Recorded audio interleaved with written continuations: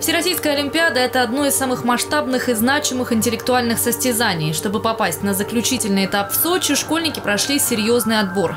Из 6 тысяч участников в финал вышли 282 знатока физики из 62 регионов, в том числе два школьника из Белоруссии.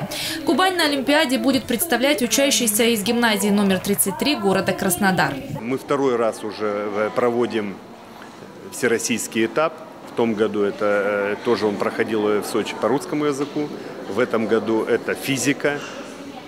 Я думаю, у нас опыт проведения уже есть. И мы справимся с теми задачами, которыми ставит перед нами руководство. В программе заключительного этапа Всероссийской Олимпиады не только интеллектуальные состязания, но и познавательная культурная программа, в том числе экскурсии по Олимпийскому Сочи. Интересно, классно. Тут э, очень хорошая атмосфера, хорошие, приятные люди. Вот. Нам нравится проводить здесь время. Тут знаменитые олимпийские объекты, на которые очень хочется взглянуть, побыть на них почувствовать олимпийский дух.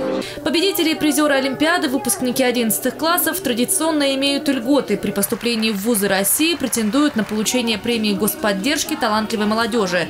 Также из их числа сформируют национальную сборную России для участия на международных Олимпиадах.